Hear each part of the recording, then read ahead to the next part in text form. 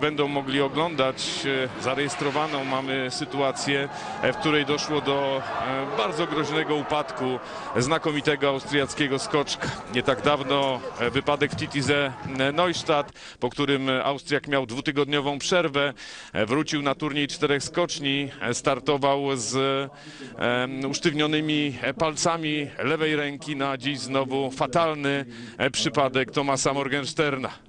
Niestety Niestety stracił przytomność e, po tym upadku. E, Szybka pomoc e, służb medycznych został odwieziony e, do szpitala. Z ostatnich informacji, dosłownie e, z ostatniej chwili wynika, że e, Morgi odzyskał przytomność, że